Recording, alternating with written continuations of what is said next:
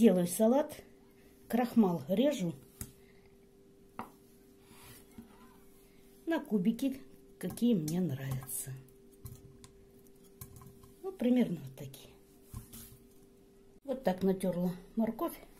Много ее не надо. Слегка помяла. Это я заливаю раскаленным маслом. Салат у меня получился.